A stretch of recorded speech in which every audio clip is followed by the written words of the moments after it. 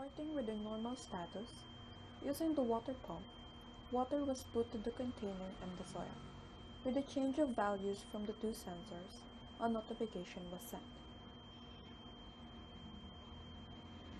This next video, where the intensity was increased, as well as the soil moisture, the water keeps dripping from the water pump to the soil. A notification was still sent even though it is still in normal status. Transitioning from normal, the three sensors detected changes and it caused to send a warning status.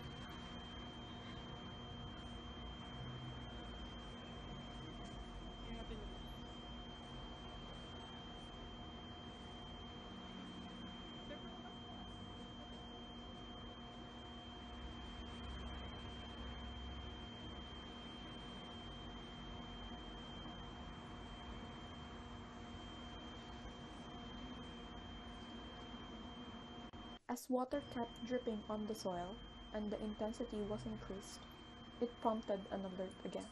Putting water on the container again, letting the water flow on the soil, and increasing intensity all over, it causes a danger alert notification.